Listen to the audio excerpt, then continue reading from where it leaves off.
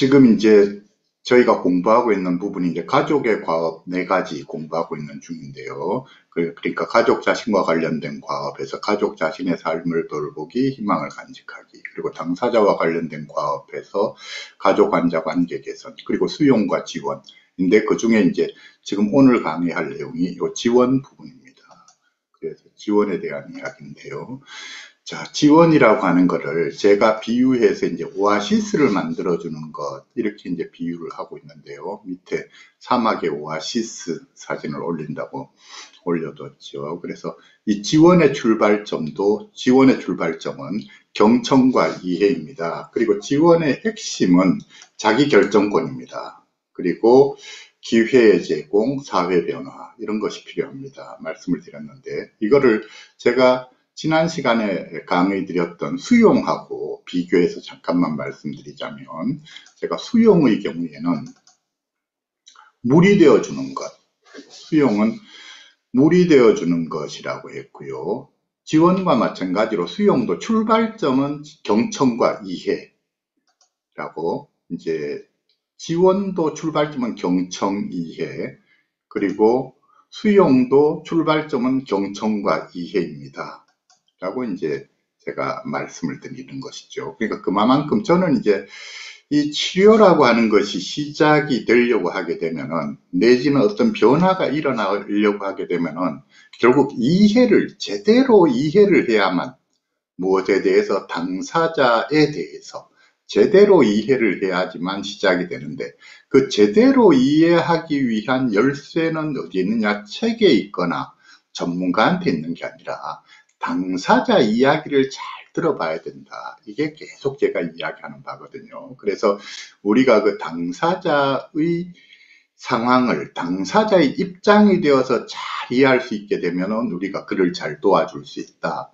라고 하는 것인데, 그러니까 그 당사자를 잘 이해하기 위해서는 비판단적으로 잘 들어봐야 된다 하는 것이고요. 이렇게 하면 당사자가 자기 노출을 많이 하게 되고 그러니까 당사자의 자기 노출과 가족이나 주변 사람들의 비판단적인 경청 이것이 이제 첫 출발이죠. 그렇게 됨으로써 제대로 된 이해를 하게 되고 제대로 된 이해를 하면 그때부터 시작해서 모든 게 풀려나가는데 그렇기 때문에 저는 이제 수용도 그렇고 지원도 그렇고 아무튼 당사자를 우리가 받아들인다. 당사자가 당사자를 있는 그대로 이해 인정하고 인정한다 하는 이 수용도 그렇고 그 다음에 당사자를 잘 도와준다는 지원도 그렇고 출발점은 아무튼 경청과 이해입니다. 그런데 수용의 경우에는 제가 핵심을 마음의 여유라고 했죠. 수용을 해주기 위해서는 내가 내 마음의 여유가 있어야 된다. 내 마음에 빈자리가 있어야 당사자를 내 마음에 품어줄 수 있다. 내가 당사자를 받아들일 수 있다. 당사자의 용납하기 어려운 행동들을 용납해 줄 수가 있다. 등등 이런 것이죠. 그래서 수용을 하기 위해서는 마음의 여유가 있어야 되고요. 이 마음에 그러니까 가족분들이 가족 본인이 마음이 불안하다, 화가 난다, 힘들다 등등 하면 본인의 이 불안함, 이 화나는 마음, 이 힘든 마음을 어떻게 절망스러운 마음을 어떻게 먼저 해결할 거냐.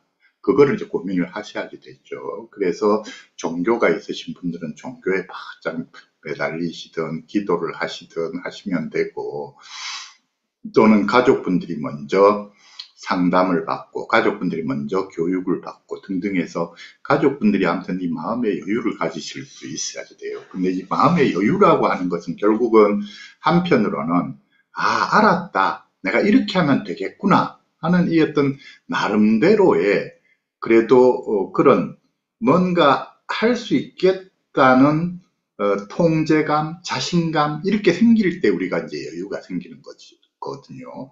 내가 이 문제를 어떻게 감당해야 될지 모르겠다. 도대체 뭐 시작을 어떻게 해야 될지 모르겠다. 이런 상태에서는 여유가 생기질 않는 거죠. 그렇기 때문에 이제 이 마음의 여유를 가지기 위해서는 결국은 공부를 하셔야 된다. 가족분들이 먼저 공부를 해서 알아야 되고 그리고 당사자의 말을 잘 들어서 당사자가 이해가 돼야 되고 그렇게 되면은 아 알았다. 이렇게 하면 되겠다. 이 마음이 이제 들거든요. 그럴 때 이 여유가 이제 생기는 것이죠. 그래서 수용은 아무튼 마음에 여유가 있어야 된다. 거기에 비해서 우리가 지원 지원이라고 하는 거의 핵심은 자기 결정권이라는 거죠. 자기 결정권은 지 뜻에 맡겨준다.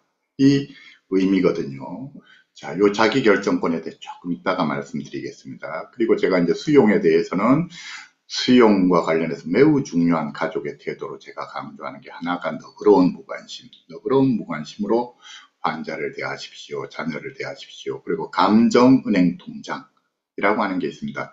당사자의, 자녀의, 환자의 그 마음 속에 저금을 많이 하십시오. 그리고 평소에 저금을 많이 하십시오. 제가 그런 거를 말씀을 드렸었고요. 자, 지원이라고 하는 것, 지원이라고 하는 것의 가장 핵심은 기회를 그에게 많이 제공해주는 기회를 제공해줘야 하는데 이 기회를 만들어주기 위해서는 사회 변화가 필수적이다 하는 것이죠. 자, 그래 이제 자, 이 지원, 지원이라고 하는 거는 오아시스를 만들어주는 것. 제가 이렇게 이제 비유를 했는데요. 그러니까 이 당사자들이 살아가는 이 삶이 마치 사막 속에 사는 것처럼 이렇게 지금 본인으로서는 힘든 이런 상황에서 살고 있다라고 한다면은 우리가 해줘야 될 게 뭐냐?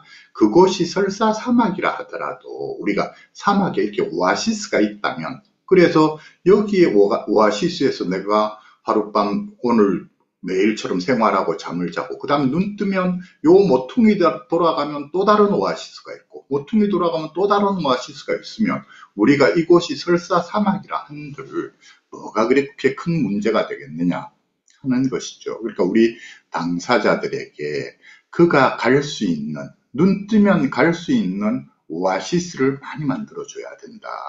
자기가 놀러 갈 곳, 공부하러 갈 곳, 취미생활 하러 갈 곳, 또 직업, 돈 벌러 갈 곳, 아무튼 그에게 적합한 이런 환경들을 많이 만들어주면, 또 다른 말로는 그에게 적합한 기회들을 많이 만들어주면, 그에게 적합한 소속 집단을 많이 만들어주면, 이게 병이 뭐 그리 큰 문제가 되겠느냐.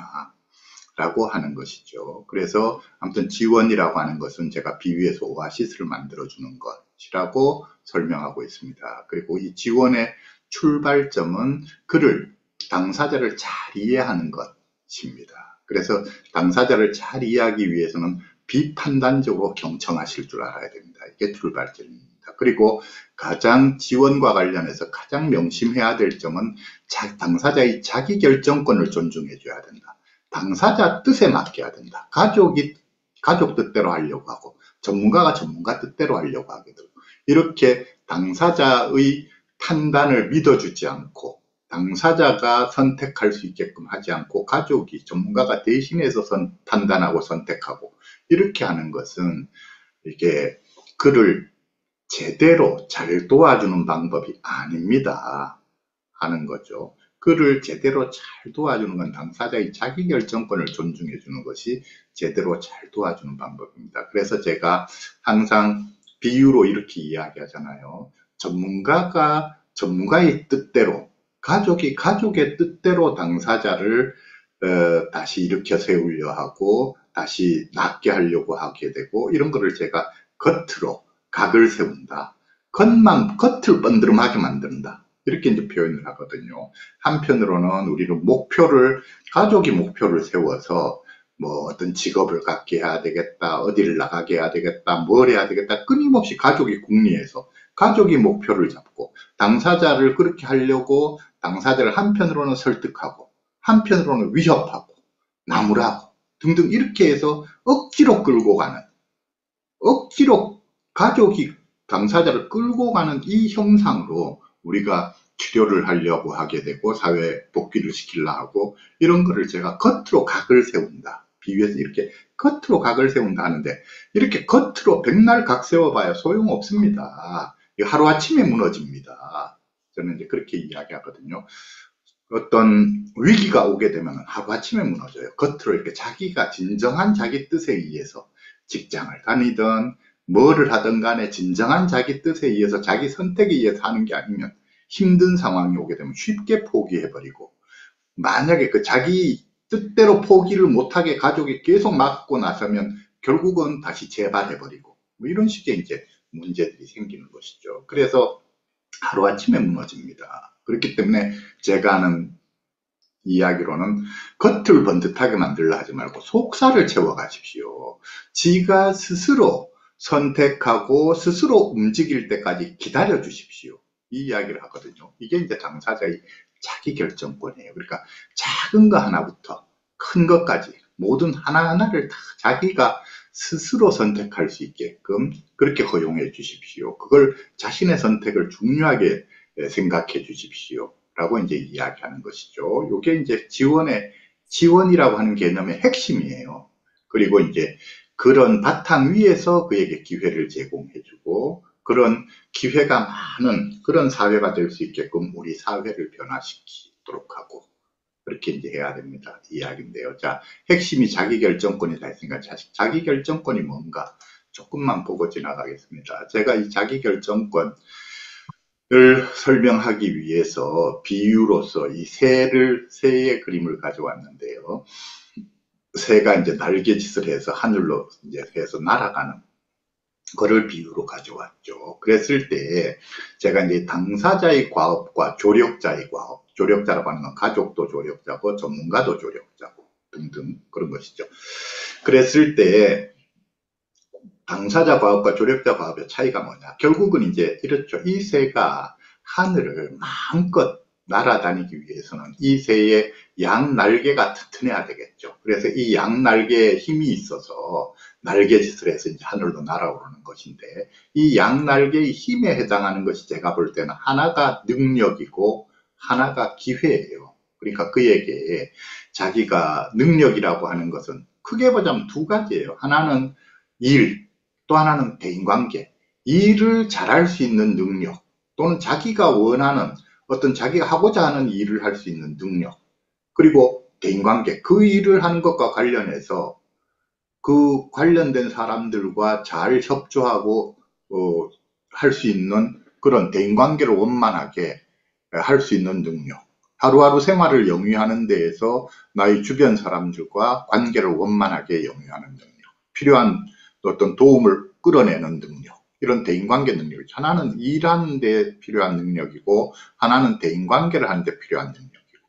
이 두 가지 능력을 잘 갖추면 되고 그 다음에 그런데 우리가 능력이 있다고 우리가 이, 이 내가 일을 잘할 수 있다 일을 잘할 수 있는 능력이 있다 어떤 기술이 있다 그걸 가지고 그것이 곧 발휘가 되는 건 아니에요 아무리 내가 일을 잘할 수 있는 능력이 있고 특정 분야에 전문적인 능력이 있고 또는 기술이 있고 뭔가 있다 라고 하더라도 그 일을 할 수 있는 기회가 주어지지 않으면 우리는 자신의 능력 발휘를 못한다는 것이죠. 능력이 있다 하더라도 능력 발휘를 할 수 있는 기회가 주어져야 된다.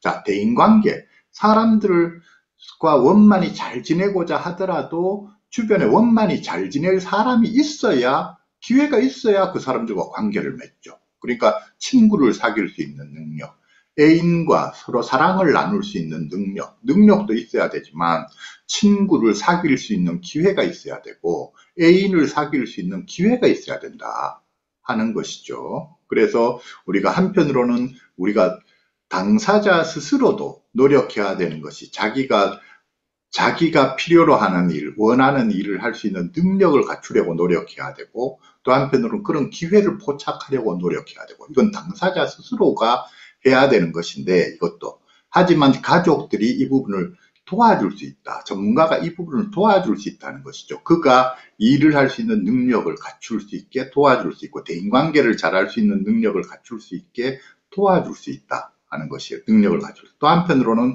그런 그가 일할 수 있는 그런 어떤 자신의 능력을 발휘할 수 있는 기회 기회를 만들어 주려고 가족들이 노력할 수 있고 그런 기회를 만들어 주려고 전문가들이 노력할 수 있다 하는 것이에요. 그래서 그의 능력, 능력을 키워주고 그에게 능력 발휘를 할 수 있는 기회를 만들어주고 이것이 조력자의 과업이라고 하는 거예요. 조력자들이 가족이나 전문가들이 해야 될 일인데 그런데 목표 그러니까 어떤 일을 하고 살 거냐 누구를 누구와 친구가 될 거냐 등등 이런 것들이 있죠. 그러니까 우리가 내 삶의 사, 내 삶을 사는 이유 나의 삶의 목표 하루하루 오늘 하루 눈 떠서 오늘 하루 내가 뭐라고 살 거냐 하는 이것이죠.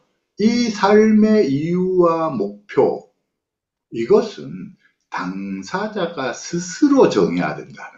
이거를 가족이 대신 정해줄 수 없고 전문가가 대신 정해줄 수 없다는 거예요. 그걸 제가 비유를 해서 이렇게 새에다 그린 것이 새의 양날개에 힘을 붙여주는 거는 이건 가족들이 도와줄 수 있고 전문가가 도와줄 수 있는 부분이지만 새가 어느 방향으로 날아갈지 그 방향을 정하는 거는 자기 자신이 정하는 거다 하는 거예요. 동쪽으로 날아갈지 서쪽으로 날아갈지 또는 뭐 등등 또는 하늘 높이 날아갈지 또는 땅에 나지막하게 날아갈지 이런 건 다 자기가 스스로 정하는 거다 라고 하는 것이에요. 그래서 오른쪽에서 놓은 글을 읽어보자면 자신이 원하는 삶의 지향점, 즉 살아가는 이유와 목표를 정하는 것은 당사자 본인의 과업입니다.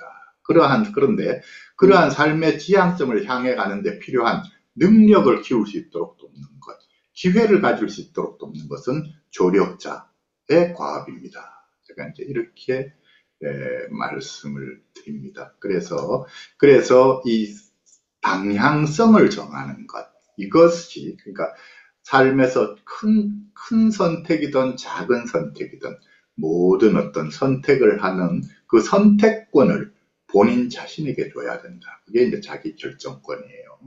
자, 그 다음에 이제 지원이라고 했을 때, 자, 그랬을 때, 자, 이제 지원이라는 게 구체적으로 뭐를 지원해야 되느냐? 라고 할 때, 자, 지원이라는 거의 밑바탕이 뭐냐? 하나는 지원해. 당사자가 결국, 결국은 뭐를 지원해야 하는가라고 했을 때 결국은 우리가 궁극적으로 하자는 건 당사자가 자기가 해야 될 일을 잘 해나갈 수 있게끔 뒷받침을 해주는 거. 당사자가 자기 스스로 해야 될 일, 자신의 과업을 자기가 잘 할 수 있게끔 그렇게 이제 우리가 뒷받침을 해줘야 되는데요. 이 당사자가 스스로 해야 되는 일이 뭐냐? 이걸 제가 당사자의 네 가지 과업이라고 제가 하잖아요. 요게 이제 당사자의 네 가지 과업이죠. 당, 우리가 당사자들이 크게 보자면 병과 관련해서 해야 될 일이 있고 자신의 삶과 관련해서 해야 될 일이 있는데 자신의 병 관리를 잘 해나가야 되는데 자신의 병 관리를 잘 해나가려면 당사자들이 꾸준히 꾸준한 약물 복용을 해야 되고 그 다음에 자신의 스트레스 관리, 증상 관리, 위기 관리를 잘 할 줄 알아야 되고 한마디로는 증상 관리인데 이 증상이 스트레스를 받으면 심해지고 하니까 스트레스를 받지 않게끔 또 스트레스를 받는다라고 할 때 적절히 잘 대처할 수 있게끔 이렇게 노력함으로써 스트레스가 자신의 증상을 일으키지 않게끔 잘 이렇게 조절하는 이 요런 게 필요하고 그 다음에 또 증상 관리, 스트레스 관리, 증상 관리를 잘한다 하더라도 또 한 번씩 위기가 올 수 있으니까 이 위기 상황에 잘 대처할 수 있게끔 스스로로 관리해야 되고 그래서 꾸준한 약물 복용과 그리고 스트레스 관리, 증상 관리, 위기 관리 이런 것들이 필요하고 병과 관련해서 그 다음에 삶과 관련해서는 선순환적 생활 습관을 갖춰야 되고 확고한 삶의 목표를 설정해야 되고 추구해야 되고 이런 것이죠. 이것이 이제 당사자의 네 가지 과업이거든요. 그랬을 때, 그러니까 결국 당사자가 이렇게 자신의 병 관리를 잘하고 자기가 자기 삶을 잘 살아갈 수 있, 게끔 자, 신의 삶을 잘 살아가는 그것이 당사자 스스로 해야 될 일인데 당사자 스스로가 그것을 처음에는 그걸 잘 못 해 나가기 때문에 그것을 가족들이 도와주는 것이고 전문가가 도와주는 것이고 그렇게 도와주는 것이죠. 그래서 그런 것인데 요 당사자가 자기 일을 잘 해나가기 위해서는 당사자가 심리적으로 안정이 되어 있어야 돼요. 모든 면에서 안정이 되어 있어야 그 바탕 위에서 자기 일을 잘 해나갈 수 있습니다. 이야기고. 그래서 당사자가 이렇게 심리적으로 잘 안정된 상태에서 당사자가 자기 일을 잘 해나가게끔 이렇게 뒷받침해 주는 것이 이게 가족의 역할입니다. 그래서 이것이 가족의 지원인데 가족이 여러 가지로 지원을 해주겠지만 특히 중요한 것이 가족의 정서적 지원이 중요하고요. 그 다음에 가족이 가족들이 이 당사자가 심리적으로 안정된 상태에서 자신이 해야 될 일을 잘 할 수 있게끔 그 환경을 만들어주는 것. 이게 이제 가족들이 해야 되는 것이죠. 그러니까 정서적 지원, 환경적 지원, 이런 것들을 해주는 것이 가족들이 해야 될 일이고, 이런 가족들의 노력을 사실은 전문가들이 잘 뒷받침을 해줘야 되고, 또 정부가 정책적으로 잘 뒷받침을 해줘야 되고, 또 사회 일반 대중에서도 또 그들을 지원해 줘야 되고 그런 것이죠. 그래서 이런 정부의 정책적 지원이라든지 또는 사회의 전반적인 여러 가지 지원이라든지 또는 전문가들의 지원이라든지 이런 것들이 밑바탕이 되어서 가족이 잘 자신의 기능, 가족이 어떤 환자를 잘 도와줄 수 있는 그런 어떤 가족이 잘 뒷받침해 줄 수 있는 그런 가족의 시스템이 만들어 지는 것. 그리고 그 바탕 위에서 우리 환자들이, 당사자들이 자기가 어, 안정된 심리적 상태에서 자기가 해야 될 일을 잘 해나가는 것. 요렇게 이제 되는 거죠. 따지고 보자면. 그래서 오늘 이제 간단히 정책적 지원, 사회적 지원, 전문가 지원이라고 하는 게 어떤 게 있느냐. 요거 잠깐 살펴보고, 그리고 가족들이 지원할 때 당사자의 심리적 안정을 위한 지원에는 어떤 게 있느냐. 과업 수행을 위한 지원은 어떤 게 있느냐. 이런 순서로 보겠습니다. 그래서 첫 번째 정책적 지원, 사회적 지원, 전문가 지원에 대한 이야기인데요. 먼저 하나 환기를 하고 지나갈 거는 자 우리 목표가 뭐냐라고 하는 거죠. 그랬을 때 이 미국 정신건강의학회에서 권고한 세 가지 치료 목표 이전에 저희가 공부했던 적이 있는데 잠깐 환기를 하고 지나갔죠. 가장 협의의 목표가 치료예요. 그래서 치료라고 하는 것은 증상을 경감시키거나 제거한다. 그 다음 목표가 삶의 질과 적응 기능을 최대화한다. 그러니까 이건 사회생활을 잘하게 한다. 하는 것이죠. 사회에 복귀할 수 있도록 한다. 그 다음에가 세 번째, 질병의 쇠약 영향으로부터 가능한 최대 범위까지 회복 또는 재기를 촉진하고 유지한다. 그러니까 다시 일어서게 한다. 예로서 직업, 주거지 그리고 관계에서 개인적인 삶의 목표를 달성하도록 환자를 조력함으로써 환자의 회복과 재기를 가능하게 한다. 그래서 다시 일어설 수 있게 한다. 라고 하는 것인데 영어로 리커버리인데 우리가 회복, 재기, 극복 등등 뭐 이런 말로 번역을 할 수 있는데요. 그러니까 이, 것은 이 증상에 대한 첫 번째 가장 협의의 목표는 증상에 대한 이야기고 두 번째는 사회 복귀, 사회 생활 그 사회 적응, 사, 회 적응, 사회 복귀 같은 남들과 어울려 사회 생활을 잘한다는 것을 이야기하는 것이고 세 번째 이 리커버리라고 하는 것은 자기 스스로가 만족할 수 있는 삶을 산다. 주관적인 만족을 중요시하는 개념이거든요. 그래서 이런 개념들이 있습니다 하는 걸 이제 우리가 환기를 하고요. 이 세 가지를 이 셋 중에 뭐 예를 들어서 어, 이 세 가지가 사실은 다 골고루 충족이 돼야지 되죠. 그게 바람직하죠. 그러니까 증상도 적절한 정도로 삶에 크게 나쁜 영향을 안 미치게끔 증상도 적절한 정도로 제거가 되고 경감이 되어야 되고 완전히 뿌리채 없어지면 좋겠지만 뿌리채 뽑아낼 수 있고 완전히 없어져지면 좋겠지만 그렇게 되지 않는다 라고 하게 되면은 그래도 자신의 삶에 미치는 영향이 가능하면 적은 정도로 감당할 수 있는 정도로 증상이 경감이 돼야 되겠죠. 경감이 돼야 될 거고. 근데 이제 여기에서 그러니까 우리가 어느 하나를 위해서 지나치게 올인해 버리게 되면은 다른 영역에 문제가 생긴다는 거예요. 증상만 없앨라고 너무 애쓰다 보면은 사회생활에 오히려 문제가 생기고, 그러니까 예를 들어 약을 너무 세게 쓴다. 증상은 줄이겠지만 사회생활이 안 되는 거죠. 그러니까 적절한 정도로 약을 씀으로써 약의 용량을 적절하게 씀으로써 증상도 어느 정도 막아주고 그 다음에 약을 쓰는 게 사회생활에 방해가 안 되게끔 해주고 하는 이런 균형점이 필요한 거죠. 그래서 한편으로는 증상을 없애려는 노력, 그 다음에 또 한편으로는 사회생활을 잘하게끔 하려는 노력 이런 게 필요한데 그러면서도 사회생활을 단지 남들하고 비교해서 남들처럼 산다는 게 중요한 게 아니라 자기가 원하는 삶의 모습으로 산다는 게 중요한 거죠.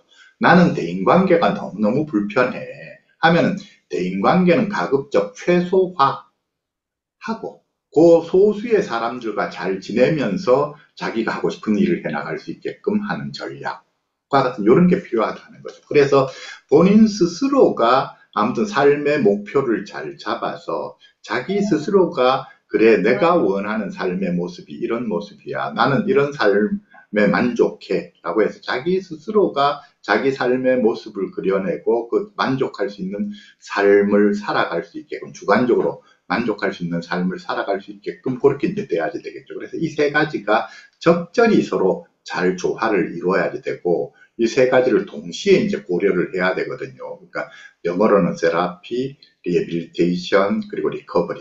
그리고 우리말로 하자면 치료, 재활 또는 사회복귀, 재, 재활 및 사회복귀 이렇게 해도 되고 재활 또는 사회복귀, 그 다음에 recovery. 그러니까 회복 또는 재기 또는 극복 뭐 등등 이런 용어로 이야기할 수 있는 거죠. 자, 아무튼 그래서 이런 이제 거를 추구해야 된다는 거죠. 이런 거를 추구하기 위해서 뭐가 필요하냐? 필수 치료 요소들이 있어요. 이것이 제공이 돼야 되는데, 그러니까 우리가 이제 지원을 해준다. 자, 뭐를 지원해야 되느냐라고 할 때, 정부가 들어서, 그리고 사회가 들어서, 전문가들이 들어서 기본적으로 제공해 줘야 되는 게 있다 하는 것이죠. 이것이 그 제공해 주는 거에 있을 때 그 바탕 위에서 그걸 잘 활용해서 가족이 자신의 역할을 하는 것이고 당사자가 자기 과업을 수행하는 거거든요. 그랬을 때 기본적으로 제공해 주는 게 뭐냐? 이걸 우리가 알아야 되는데 이게 제공이 돼야 된다는 거예요. 근데 우리 사회에서는 불행히도 이, 이 중에 지금 이제 설명을 쭉 들어보시면 아시겠지만 우리의 지금 치료 시스템은 딱 두 가지로 돼 있어요. 하나는 약, 약물 치료, 하나는 입원 치료. 우리나라는 지금 이거밖에 없다. 거의 이거밖에 없다. 그렇기 때문에 우리가 지금 제공이 돼야 되는 게 제공이 안 되면 결과적으로 힘들어지는 사람은 누구냐? 가족이 힘들어지죠. 가족이 환자를 뒷받침할 수 있는 여건이 너무 부족하잖아요. 그 다음에 환자 본인이 힘들죠.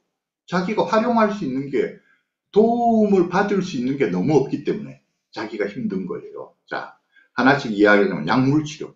약물치료는 필수죠. 제가 이제 이렇게 이야기하거든요. 약물치료를 이야기하니까 잠깐 더 붙여 이야기하자면 치료가 시작될 때의 기본적인 시작점이 되어주는 게 세 가지예요. 세 가지가 치료 시작점이 되어준다. 약만 치료 시작점이 되어주는 게 아니에요. 약, 약물 치료. 약하고 그 다음에 가족하고 환자 관계 가족 환자 관계가 시작점이 돼요. 약이 시작점이 되고 가족 환자 관계가 시작점이 되고 심리 상담이 시작점이 돼요. 이 세 가지 시작점이 점을 다 활용해서 시작할 수 있으면 가장 좋다. 뭐냐면 환자가 다행히 약도 먹으려고 심리 상담도 받자니까 심리 상담도 받으려고 거기에다가 가족하고도 서로 원만하게 잘 지내고 이 세 가지를 다 가지고 시작하면 제일 좋다. 그런데 이 세 가지를 다 가지고 시작하면 좋겠지만 경우에 따라서는 환자들 중에서는 약은 절대로 안 먹으려는 환자들이 있어요. 약은 절대로 안 먹으려면 할 수 없이 약은 포기. 나머지 두 가지를 가지고 시작하는 거예요. 그런데 심리 상담도 절대로 안 받겠다. 할 수 없이 심리 상담도 포기. 그럼 남는 환자가 뭐냐면 가족 환자 관계만 남는다. 그러니까 결국 이런 경우에는 약도 절대로 안 먹으려고 또 상담도 절대로 안 받으려고 그럼 어떻게 해야 되냐 가족이 환자를 한테 무조건 잘해주고 환자로 하여금 환자가 가족은 완전히 내 편이다 믿고 엄마는 내 편이다 아빠는 내 편이다 나는 이 세상에서 엄마가 제일 좋아 아빠가 제일 좋아 이렇게 해서 환자가 부모한테 와서 착 붙게 가족한테 와서 착 붙게 만들어야 됩니다 이러면 나중에 되면 자기는 왜 약을 먹어야 되는지 모르지만 가족이 들어서 엄마가 들어서 아빠가 들어서 약을 먹자. 그래야 내가 안심이 될 것 같다. 이렇게 되면은 그래 내가 먹어주지 하고 이게 된단 말이에요. 그 다음에 심리 상담도 심리 상담 받자. 그래야 그게 니한테 도움이 될 것 하면 그래 내가 심리 상담 받아주지 이렇게 된다는 거예요. 그래서 이게 세 가지를 다 가지고 시작할 수 있으면 좋지만 세 가지 중에 안 되면 결국 남는 거 가지고 시작을 하는 거거든요. 그래서 그렇게 생각을 하셔야 되고요. 이게 왜 이런 이야기를 드리느냐 하면 약물 치료가 중요하다. 정말로 약물 치료를 약을 약을 먹어야 된다. 조현병, 조울증, 조현정동장에서는 그래야 치료가 시작된다 이야기를 하다 보니까 이 약을 먹이기 위해서 또 너무 많은 부작용이 일어난다는 거예요. 약을 안 먹으려고 하는 애를 강제로 약을 먹이려고 하다 보니까 매일이 약 먹는 거 가지고 씨름을 하게 되고 싸움을 하게 되고 가족하고 그러면서 가족하고 환자 관계가 깨져버리는 거예요. 또 경우에 따라서는 정말 약을 먹, 먹도록 하고 치료가 시작되도록 하기 위해서 강제 입원을 시키고 함으로써 또 강제 입원을 시킴으로써 가족하고 환자 관계가 깨지고 이래가지고 시, 어려워지는 그 입원 시킨다고만 해결되는 게 아니라 입원 강제로 입원 시켰더니 퇴원하고 나면 약을 퇴원하고 나서 절대로 약을 안 먹으려 하는데 그러면 괜히 강제 입원 시켜서 부모 환자 관계만 깨지는 상태. 관계가 훼손되고 약도 안 먹죠 관계 훼손됐죠 상담도 절대 안 받으려 그럼 시작점이 아무것도 없는 거예요 시작할 방법이 없는 거예요 이렇게 이런 상황이 되는 경우들이 왕왕 있기 때문에 그런 거예요 시작할 아무 방법이 없을 때 무조건 처음은 가족 환자 관계예요.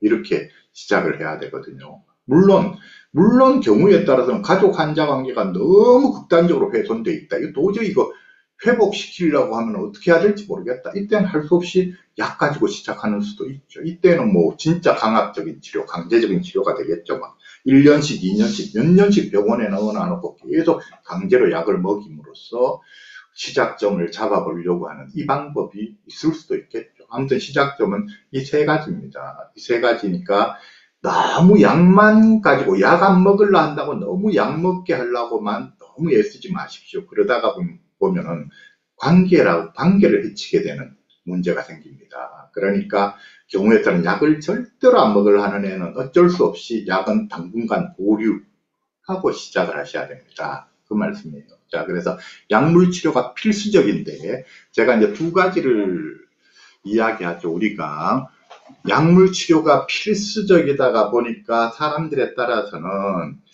어, 약만 먹으면 되는지 알고 약만 먹고 다른 노력을 아무것도 안 하는 사람들 그런 당사자나 가족들이 있어서 갑갑한 이야기고요. 그 다음에 또 당사자나 가족들 중에는 또 약에 대해서 오해를 해서 절대로 약을 안 먹고 약 이외에 다른 방법으로만 하려고 하는 사람들도 있어 그것도 좀 가깝한 노릇이고 아무튼 그렇습니다 하는 이야기고요.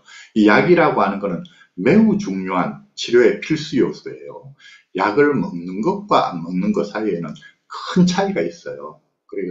그래서, 아까 시작전 세 가지에서 약물 치료, 가족, 환자 관계, 그리고 심리 상담 이렇게 시작하는 겁니다. 라고 이야기했지만, 했는데, 약을 절대로 안 먹으려고 하는 경우에 어쩔 수 없이 가족 환자 관계를 좋게 만드는 방법, 그리고 심리 상담 받으려면 심리 상담 받는 방법으로 출발을 해서 시작을 하지만, 이게 병이 가벼운 병인 경우에는 때로는 약을 안 먹고도 심리 상담과 가족 환자 관계만 가지고 이거를 개선시켜 나갈 수 있지만 병이 심한 병인 경우에는 반드시 이 두 가지로 시작을 한다 하더라도 결국 어느 시점에서는 약물 치료가 시작이 돼야 됩니다 하는 것이죠. 자, 그래서 아무튼 이 약이라고 하는 것이 필수적입니다. 이 약이. 그 다음에 이 약, 약물 치료를 이야기하니까 하나 더 붙여 될건 잠. 잠 푹 자는 게 필수적이에요. 이게 우리가 뇌를 안정시켜 주려고 할 때 약만이 뇌를 안정시켜 주는 게 아니에요. 약만큼이나 중요한 게 잠. 그러니까 잠을 푹 재워야 된다. 잠을 푹 자야 된다.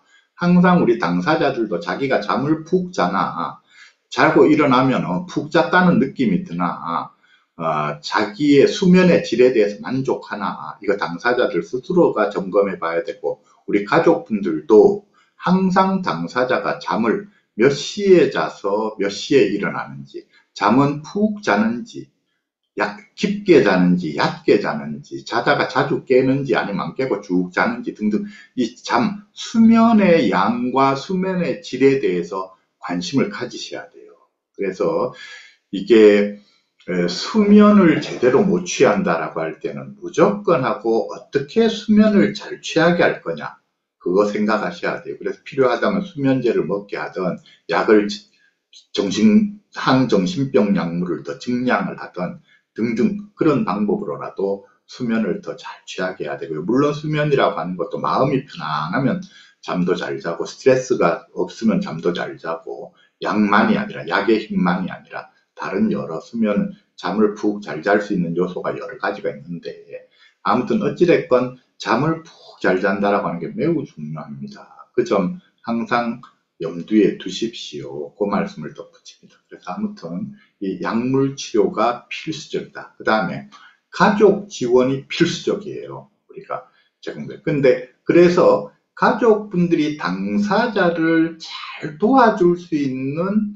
토대가 마련이 돼야 가족분들도 당사자를 잘 도와줄 거잖아요. 그러니까 우리가 가족분들이 당사자를 잘 도와주는 게 필수적이기 때문에 사실은 정부도 그렇고 또 사회도 그렇고 전문가들도 그렇고 어떻게 하면 가족들이 당사자를 잘 도와줄 수 있도록 할 것이냐 이거를 염두에 둬야지 돼요. 자 그래서 최근에 보자면 제 입장에서 제가 상담을 하다 보면 좀 답답한 상황들의 이야기를 듣는 게 어떤 경우냐면 전문가들이 환자만 데리고 치료를 하려고 상담을 하려고 가족하고 일체 협조를 안 하는 이런 경우들을 왕왕 보거든요. 그 이제 이야기가 뭐냐 하면은 예를 들어서 어 가족분들이 전문가에 대해서 어 환자에 대해서 여러 가지가 궁금해서 질문을 하더라도 아 이거 그 본인에 대한 환자에 대한 이야기는 우리가 해줄 수 없습니다. 비밀 유지에 그게 있기 때문에 본인이 오지 않는 한 우리는 이야기해 줄 수 없습니다. 이렇게 되는 경우. 또 상담 내용 같은 게 궁금해서 물어봐도 아 상담 내용은 이건 비밀 유지 때문에 우리가 일체 말해 줄 수 없습니다. 이렇게 이제 되는 경우들이 있거든요. 근데 이건 하나는 알고 둘은 모른다 라고 하는 거예요. 우리가 어, 약물 치료를 하던 심리 상담을 하던 간에 모든 종류의 치료, 치료에서 매우 중요한 한 가지 원칙이 비밀 유지예요. 비밀 유지가 되어야만 우리가 사람들이 안심하고 도움을 전문가에게 도움을 요청한단 말이에요. 그리고 안심하고 자신의 모든 어려움을 이런 어려움 저런 어려움을 다 털어놓고 의논을 할 수 있거든요. 자기가 자기가 했는 말을 말이 만약에 그냥 가족들한테 다 알려진다든지 주변 사람들한테 알려진다든지 온 세상에 알려진다 이렇게 자기가 했는 말이 외부에 마구 공개가 된다 이렇게 되면 우리가 불편해서 겁이 나서 내가 겪고 있는 어려움을 전문가한테 누군가에게 말을 할 수, 하고 도움을 받아야 되지만 말을 할 수가 없단 말이에요. 이게 비밀 유지가 안 되는. 그렇기 때문에 우리가 전문가들이 일을 하는 데에서 매우 중요한 윤리 중에 하나가 내지는 첫 번째 윤리가 비밀 유지예요. 비밀을 지켜야 된다. 그런데 이게 비밀 유지의 원칙이 있지만 이게 이렇거든요. 자기 혼자서 잘해 나갈 수 있는 사람, 주변 사람들이 아무도 안 도와줘도 자기 스스로 잘해 나갈 수 있다. 그러면 이 비밀 유지 원칙을 지켜주면 돼요. 무슨 말이냐면 우리가 매우 가벼운 종류의 문제를 지닌 사람들은 심리 상담이라고 하는 거는 내가 직접 같이 해주는 것도 아니고 심리 상담은 말로만 의논해 주는 거예요. 말로만 의논해 주는 것이 이 심리 상담인데 또는 뭐 의사들이 약을 처방하는 경우에도 의사들은 막 처방전을 써서 줄 뿐이죠. 그럼 나머지는 본인이 약국에 가서 약 타서 먹, 먹고 하는 건 본인이 해야 되는 거죠. 그러니까 의사는 판단해서 처방전을 써주는 거죠. 심리 상담에서는 말로서만 도와주는 것이고 이게 우리가 말로만 해주는 게 아니라 직접 예를 들어 같이 약국에 가서 약 타는 것도 같이 해준다. 또 직접 같이 가서 동사무소에 가서 서류 떼는 것도 같이 해준다. 직접 같이 다니면서 백화점 같은 데 가서 물건 고르고 사는 것도 같이 해준다. 직접 가서 구직 원서 내는 것도 같이 해준다. 나아가서는 좌코치처럼 직접 같이 현장에 가서 지 일할 때 나도 옆에서 같이 앉아 같은 일을 같이 하면서 도와준다. 이런 걸 우리가 잡코치라고 하는데 그런 거라든지 또는 뭐 지가 필요로 하면 가정에 방문해서 뭔가를 해준다. 같이 해준다. 이런 모델 이렇게 같이 해주는 같이 해주면서 도와주는 거를 우리가 이야기할 때 그걸 사례 관리라 그래요. 사례 관리. 사례 관리라는데 사례 관리도 이거 매우 중요한 어떤 면에 필수 서비스예요. 사례 관리인데 근데 이 사례 관리가 사례 관리사라고 하는 직업이 이게 분명히 존재하는 직업임에도 불구하고 그리고 어, 우리나라로 따지면 정신건강복지센터라든지 이런데 필수적으로 배치되어 있어야 되는 인력임에도 불구하고 우리나라에서는 실제로는 배치되어 있지 않죠. 어, 실제로는 사례관리의 역할을 안 해줘요. 그러니까 그렇게 되니까 누가 다 하느냐? 가족이 하나부터 열까지 다 할 수밖에 없다. 사례관리사라고 하는 전문 적인 영역의 일을 가족들이 다 하는 거예요. 사례관리의 일. 영어로는 케이스 매니, 케이스 매니지먼트인데 이것을 몸으로 같이 움직이면서 같이 지가 스스로 혼자서 못하는 것을 같이 할 수 있게끔 같이 움직여주는 거. 이렇게 움직여 도와주는. 이거를 지금은 가족들이 다 하고 있는 거죠. 그런데 만약에 사례관리사라는 직종이 우리나라에서도 의무 배치가 되고 활성화가 되고 가족들이 무료로 또는 아주 소액의 비용으로 그 사람들을 활용할 수가 있다. 사례관리사를 활용할 수 있다면 한다면 지금 가족들이 직접 하느라고 힘든 일 중에 상당 부분을 덜어낼 수 있겠죠. 어, 그런데 우리가 지금 그게 없단 말이에요. 그런데 제가 여기에서 지금 사례관리 이야기를 꺼낸 거는 뭐냐면 상담이라든지 또는 의사들이 약물 처방하는 거라든지는 이런 사례 관리처럼 직접적으로 해준다. 직접적으로 같이 해준다는 개념이 없거든요. 그냥 말로만 해주는 것인데 그리고 땡 치는 거죠.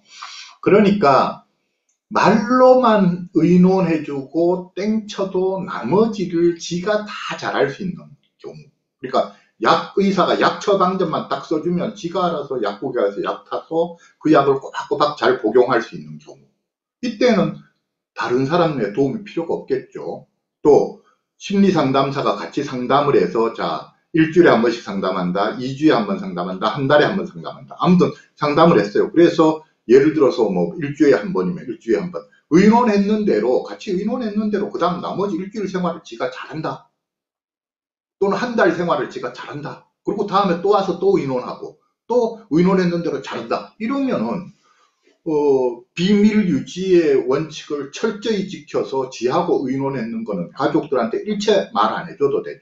지 혼자 다 잘하면. 가족의 도움 없이 지 혼자 자, 자, 다 잘하면. 그런데 문제는 뭐냐면 이게 가벼운, 매우 가벼운 종류의 정신질환이라든지 우울증, 뭐 매우 가벼운 우울증, 매우 가벼운 불안장애, 뭐 등등 이렇게 매우 가벼운 문제를 지닌 사람은 이렇게 혼자서 다 할 수 있으니까 우리가 전문가가 가족과 공조체제를 안 갖춰도 되는데 심한 정신질환의 경우에는 그러니까 조현병, 조울증, 조현정동장애 이런 건 전부 다 심한 정신질환이란 말이에요. 이 심한 정신질환을 지닌 사람들은 문제가 혼자서 못 해낸다는 게 문제가 돼요. 이게 활성기 때는 절대로 혼자 못 해내죠. 활성기 때 거의 혼자 못 해내죠. 그 다음에 뭐 약 먹는 것부터 시작해서 뭐 하나하나가 혼자서 제대로 못 해내거든요. 활성기 때는. 그 다음 회복기 때도 상당 기간 동안 혼자서 못 해내거든요. 나중에 정말로 잘 회복이 돼야 그 다음에 혼자서 척척척척 이런 것 저런 걸 해내지만 그 기간 사이에는 가족들의 또는 가족 이외의 다른 우리가 사례관리사라는 전문 직종이 지금 아직 우리나라에 제대로 배치가 안 돼서 그렇지만 사례관리사라는 이런 직종의 사람들 그래서 이런 또는 잡코치 이런 사람들의 전폭적인 지원이 있어야 되거든요 사실은 그래서 그러니까 뭐냐면 그렇기 때문에 이게 전문가가 이 영역에서는 심한 정신질환의 영역에서는 전문가와 가족의 공조체제가 필수적으로 필요하다는. 서로 간에 정보를 주고 받아야 돼요. 가, 전문가도 가족에게 내가 아는 정보를 많이 제공해 줘야 되고 또 가족으로부터 환자로부터 듣지 못하는 이야기를 환자하고만 상담하는 경우에는 환자가 지한테 유리한 이야기만 하고 생전 지 힘든 이야기는 안, 안 하고 지가 늘 전문가한테 좋은 모습을 보이고 싶어서 잘 지내고 있다는 소리만 하고 이렇게 되니까 엉뚱한 정보만 제공하고 진짜로 필요한 정보를 제공 안 하는 경우가 허다하거든요. 그러면 가족으로부터 나머지 정보를 제공을 받아야 전문가도 환자를 제대로 파악할 수 있는 거고 이렇게 되는 거죠. 그래서 전문가와 가족이 서로 긴밀한 공조 체제를 이루어야 돼요. 그러니까 저 같은 경우에는 심리 상담하는 데에서 우리 조현병, 조울증 그리고 조현정동장애 이런 심한 정신질환의 심리 상담에 있어서는 이 가족 상담이 필수적이라는 게 당사자 상담만 가지고는 절대 안 된다. 무조건 가족 상담이 병행이 돼야 된다. 예를 들어 당사자는 매주 한 번 상담을 한다. 하면 가족은 적어도 한 달에 한 번 상담해야 된다. 또는 당사자를 2주에 한 번, 한 달에 한 번 상담한다. 가족은 그 적어도 한 두 달, 세 달에 한 번은 상담해야 된다. 아무튼 가족하고 또 그 다음에 정식 상담은 아니라도 필요하면 당사자 상담하고 나서 짧게라도 가족하고 서로 의논하고 이런 절차들이 필요하다는 거예요. 가족 상담이 반드시 같이 가야 된다. 가족과의 공조 체제가 반드시 필요하다는 거죠. 그러니까 여기에 따라서 이 비밀 유지의 원칙을 너무 철저히 지키려고 하다 보면 가족과의 공조 체제가 안 되는 거예요. 그러니까 어떻게 해야 되느냐 하면 이 당사자와 상담을 할 때에 예를 들어 상담을 마치면서라든지 자 우리가 지금 오늘 의논했는 내용 중에서 부모님한테 절대로 네가 이야기를 안 했으면 하는 내용들이 있느냐? 있다면 어떤 거냐? 또는 경우에 따라서 오늘 이야기한 내용들 중에서는 이러 이러 이런 내용은 내가 부모님하고 같이 의논을 해보고 싶은데 이거 가지고 내 부모님하고 의논을 해봐도 되겠나? 이런 식으로 이 당사자와 협의를 하는 거죠 전문가가. 그래서 이 정말로 꼭 당사자가 절대로 이거는 부모님한테 이야기하지 말라 라고 당부하는 것 이외에는 사실은 다 부모님하고 공유가 돼야 된다는 거예요 정보가 전문가가 상담했는 정보가 공유가 돼야 된다는 거예요. 이런 방식으로 비밀 유지의 원칙을 지켜야 된다는 거예요. 그러니까 비밀을 유지해야 될 내용을 최소화시키는 방식으로 이렇게 해야지 되거든요. 전문가들이 그거를 알아야 돼요. 그러니까 우리가 가벼운 정신질환, 가벼운 문제를 다룰 때와 심한 정신질환, 심한 문제를 다룰 때는 기본 원칙 중에서 우선순위가 되는 원칙이 다르다는 걸 알아야 된다는 거예요. 그러니까 가벼운 문제를 다룰 때는 우선순위가 되는 첫 번째 원칙이 만약에 비밀 유지라고 한다면 심한 문제를 다룰 때는 비밀 유지가 첫 번째가 될 수가 없는 거예요.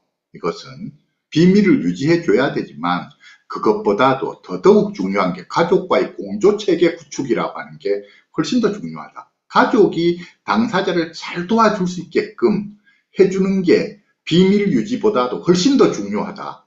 이렇게 생각을 해야 되는 거예요. 우리가 비밀 유지의 원칙이라고 하지만 어, 몇, 몇 가지 경우에는 그 원칙을 안 지켜도 되는데 그 원칙보다도 더 중요한 시급한 다른 경우들이 있거든요. 그게 뭐냐면 첫 번째가 자살하려고 할 때. 자살에 대한 이야기는 비밀 유지에 해당한데요. 자살, 자살 위험성이 있다. 그때는 전문가가 가족하고도 의논을 해야 되고 그러니까 이건 일반적인 경우에 그러니까 조현병 상담, 조울증 상담, 조현정동장 장애 상담이 아닌 그냥 일반 청소년 상담이든지 일반적인 상담에서 그렇다는 게 일반적인 상담에서도 비밀 유지의 원칙이 있지만 전문가가 비밀을 지키지 않아도 되는 경우 가족이나 또는 경찰이나 주변 사람들한테 알려도 되는 경우가 어떤 경우냐 첫 번째가 자살하려고 하는 경우 자살하려고 할 가능성이 있다면 전문가가 가족하고 의논해야 돼 가족한테 알려줘야 돼요 그리고 더더욱 심각하고 시급할 때는 경찰한테 신고를 해야 되고 자살하려고 할 때, 그 다음에 탈해의 가능성이 있을 때, 지금 가만히 좀 칼 들고 어디 쫓아가서 지금 칼부림 나겠다. 이때는 필요하다면 가족한테 알려야 되고 아니면 경찰에 신고해야지 돼요. 그러니까 이런 탈해의 가능성, 내지는 범죄의 가능성. 지금 뭔 범죄 행위를 하려고 지금 마음을 먹고 있다. 곧 결행할 것 같다. 이때는 가족한테 알리고 경찰한테 알려야지 돼요. 이렇게. 그래서 가벼운 그냥 조현병, 조울증, 어, 조현정동장애 이런 문제가 아니라 하더라도 일반 상담에서도 이렇게 자살할 가능성, 타해의 가능성, 그리고 범죄와 관련될 때 이런 거는 비밀 유지의 원칙보다는 더 이 정보를 공유하고 알려주는 게 중요하단 말이에요. 그것처럼 같다는 거예요. 그러니까 조현병, 조울증, 조현정동장애에서는 자 어떻게 하면 약을 먹게 할 거냐 지금 약을 안 먹고 있는데 이거 어떻게 해야 될 거냐 이거 전문가하고 가족이 서로 긴밀하게 의논해야 되는 사안이죠. 또 마찬가지로 뭐 여러 가지 지금 꼼짝을 안 하고 있는데 이거 도대체 어떻게 해야 이거 움직이게 만들 거냐 지금 뭐 등등등등 같이 의논해야 될 사안이 한두 가지가 아니에요. 그래서 이 공조체제가 무척 중요하다는 것. 그래서 비밀 유지의 원칙을 이렇게 가벼운 문제에 적용하는 비밀 유지의 원칙을 이 심한 문제까지 그대로 적용한다는 건 있을 수 없는 일이라는 거예요. 사례 관리를 필요로 하는 가족이 사례 관리사의 역할을 하고 있는 한은 가족도 하나의 같은 전문가와 마찬가지라는 게 지금 같은 조력자끼리 서로 어, 지금 전문가가 환자를 도와주는 것도 있지만 가족이 아니고는 안 되는 일도 있고 이렇기 때문에 서로 간에 긴밀하게 협조를 해야 된다. 그 이야기예요. 그래서 이제 이런 부분에서 이제 가족분들이 때때로 또 답답해 하시는 게 병원에 갔는데 환자가 안 왔으니까 의논해 줄 수 없다. 라고 퇴짜 맞고 오는 경우가 있다. 의사한테 면담하러 갔다. 그때 제 하는 이야기가 당연하죠. 의사들 입장에서는 지금 진료 신청을 안 했는데 내가 지금 면담을 해줄 수가 없어요. 그러니까 환자가 안 갈라 해서 어쩔 수 없이 보호자만 병원에 지금 급해서 쫓아갔다. 환자 문제로 인원. 그때는 보호자가 보호자 자신의 이름으로 진료 신청을 해야 돼요. 의사 면담 신청, 진료 신청. 보호자가 자기 이름으로 면담 신청을 하면 면, 의사는 무조건 면담할 수밖에 없거든요. 면담 시간이 잡혀서. 그러면 그렇게 해서 내 이름으로 면담 신청을 해서 진료 신청을 해서 의사한테 들어가서 사실 내가 누구누구 보호자인데 그러니까 내가 내 문제를 내가 뭐 문제가 있어서 지금 하려는 게 아니라 누구누구 보호자인데 애 문제를 지금 의논하러 왔다. 또는 애가 지금 약을 안 먹으려는데 또는 약이 너무 세서 지금 그런 것 같은데 그 문제를 내가 의논하러 왔다. 하고 이야기를 하는 거예요. 내가 볼 때 그러면은 내가 볼 제가 볼 땐 대다수 의사들이 이 진료 신청을 하고 들어와서 나한테 묻는 거기 때문에 자기가 뭐 평상시에 5분, 10분 상담해 주는 사람 같으면 5분, 10분 시간을 내준다는 거죠. 의논이 된다는 거예요. 만약 그럼에도 불구하고 의사가 아 이거 난 환자에 대한 이야기는 가족한테 비밀 유지를 해야 되니까 가족하고 일체 말 못합니다. 이런다면 그 의사는 정말 너무 뭐 하나는 알고 둘은 모르는 사람이죠. 정말 답답한 사람이죠. 그래서 대다수 경우에는 열에 적어도 7, 8, 8, 9명의 전문가는 가족이 자기 가족의 이름으로 진료 신청을 해서 들어가서 환자의 일에 대해서 의논을 하면 의논을 해 줄 거다 하는 거예요. 마찬가지로 심리 상담의 경우에도 마찬가지예요. 우리가 심리 상담의 경우에도 가족분들 중에는 이렇게 생각하시는 가족분들이 있어요. 환자의 환자를 상담을 맡겨놓고 환자를 상담을 하면 의뢰껏 상담자가 내가 어, 상담자한테 전화를 하거나 하면은 다 시간을 내서 의논을 안 해주겠나? 아니 너무 순진한 생각이에요. 심리 상담하는 사람들 입장에서 또 시간이 돈이에요. 한 시간에 내가 한 시간 상담료를 받고 상담을 해야 되는데 물론 보호자분하고 꼭 의논해야 될 일이 있어서 내가 어, 환자 상담을 하고 나서 한 5분 정도 시간을 내서 짧게 서로 문자를 주고받는다든지 짧게 통화를 한다는 건 가능하겠지만 30분씩 1시간씩 의논하는 거는 불능이라는 거예요. 10분, 20분씩 의논하는 거 불능이라는 거예요. 그럼 어떻게 해야 되느냐? 그 심리 상담을 보호자 이름으로 심리 상담, 그러니까 환자 이름으로 심리 상담을 매주 한 번 한다. 하면 보호자 이름으로는 한 달에 한 번 한다라든지 해서 정식으로 상담료를 내고 의논을 해야 상담자도 깊이 있게 충분한 시간을 내서 잘 의논해 줄 수가 있지. 가외 서비스처럼 계속 갖다가 의논을 해달라고 하게 되면 깊이 있는 의논을 해줄 수가 없어요. 계속해서 나는 가외 시간이 나가는 거기 때문에. 그런, 그런 원리를, 그걸 이해하셔야 된다고요. 그러니까 병원에 보호자가 가서 본인 이름으로 진료 신청을 해서 들어가서 환자 아, 자녀에 대해서 의논을 해야 되는 것처럼 이게 점 그러니까 심리 상담에서도 마찬가지로 보호자가 자기 이름으로 상담 신청을 해가지고 상담료를 내고 심리 상담자하고 자녀에 대해서 의논을 해야 된다는 거예요. 그러니까 자녀를 상담하면 보호자하고 그 문제에 대해서 의논해 주는 게 이게 서비스로 그냥 반드시 제공되는 게 아닙니다 하는 거예요. 이거를 상담기관에 따라서는 이렇게 서비스로 이걸 제공해주는 상담기관도 있지만 반드시 제공해주는 걸 원칙으로 해서 애 상담 1시간 하면 부모 상담 30분을 서비스로 해주는 상담기관도 있지만 대다수 상담기관은 그렇게 못해요. 그러니까 그냥 해서 하게 되면 깊이 있는 의논이 필요하면 부모가 별도의 상담료를 내고 부모 이름으로 상담 신청을 해서 상담을 하셔야 됩니다. 그 이야기고요. 자, 그래서 아무튼 이 가족 지원, 가족 가족 분들이 우리 당사자를 잘 도와줄 수 있게끔 하려고 하면 이 가족 지원이 그러니까 약물 치료만큼이나 약물 치료만큼이나 또는 가족 지원이 약물 치료 이상이죠. 만큼이 아니에요. 약물 치료하고 가족 지원 둘 중에 하나를 택해라면 약물 치료 빼고 가족 지원 택해야지 돼요. 가족 지원이 더더욱 필수적이에요. 그러니까 가족 지원이 약물 치료 이상으로 필수적인 치료 요소다라고 하는 거죠. 그러니까 가족이 잘 기능할 수 있게끔 하는 게 매우 필요한데 잘 기능할 수 있게끔 하는 거에 한 가지가 전문가와의 공조 체제라고 하는 거예요.